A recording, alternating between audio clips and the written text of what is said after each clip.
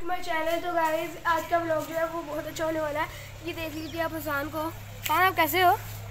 Guys मैं painting बेच रहा हूँ। कब से बैठा हूँ पेंटिंग ही बेच रहा। बेचारा फकीर पेंटिंग बेच रहा है। तो अभी आप लोग बाहर का नज़ारा देखिए। ये देखिए अरफा। अरफा आप कैसी हो? अल्लाह शिकार। अल्लाह शुक्र।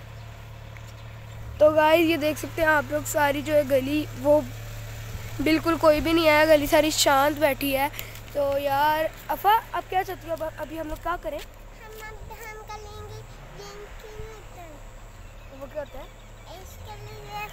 यार आप देखें अरफा क्या बोल रही है। हम क्या करें हम क्या करें? फायरमैन लेके लेके लेके फायरमैन पता नहीं क्या चीज़ है अरफा बोल रही है यार। और वो आप लोग देख सकते हैं वहाँ पे कुछ लोग जो हैं वो काम कर रहे हैं। वो देखिए। तो यार हमें तो उनसे कोई मतलब है नहीं। तो मैं चलता हूँ जल्दी एहसान के पास से देखते हैं कि वो क्या कर रहा है। यार ये क्या कर रहा है? यार वो थक यार तुझे क्या लगता है कितने की बिकेंगी तेरी पेंटिंग कितने की एक सौ बीस ये दे दो बच्चा अच्छा यार तो आओ यार आगे का नज़ारा देख के आते हैं।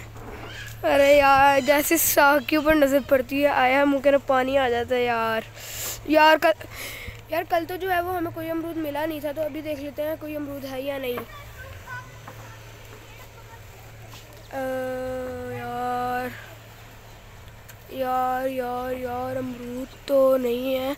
ए भैया, गुच्छा गुच्छा गुच्छा, ये किधर है किधर है किधर है? ये देखो गुच्छा एक। अमरूद का गुच्छा। मैं आपको दिखाता हूँ। ये देख सकते हो आप लोग। यार भैया तीन तीन अमरूद लगे हैं। तो यार ये सारे जो है, ये कच्चे हैं। जब ये पक जाएँगे ना, तब हम लोग इनको तो एकदम से मज़ेदार खाएँगे। तो यार, हसान जो है आवाज़ें लगा रहा है। हसान, क्या आवाज़ लगा रहे हो? क्या आवाज़? क्या है? भैया मैं आपको इसकी पेंटिंग्स दिखाता हूँ। ये वाली जो है ये मैंने बना रखी है। और ये वाली जो है ये हसान ने बना रखी है। और ये वाली भी हसान ने बना रखी है। यार मेरी वाली जो है वो बहुत अच्छी है लेकिन हसान वाली जो है वो बहुत खटारा है। हसान यार मेरे से रात को बहुत ज़्यादा मार खा ली थी बिकॉज़ ये मेरे को बहुत ज़्यादा तंग करा था। और आपने कल वाले व्लॉग के ना देखा भी होगा। भाई चुप करो यार।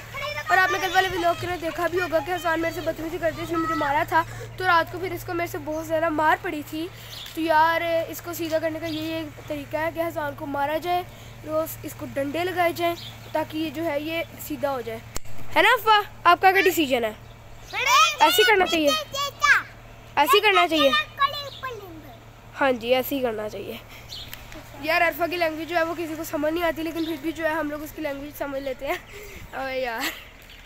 यार ये देखो यार मेरे को एक दरख्त मिला है। ओ भाई। हसान आवाज़ें लगा रहा है भैया की पेंटिंग। उए यार ये तो बंद गोभी लग रखी है। अरे भाई।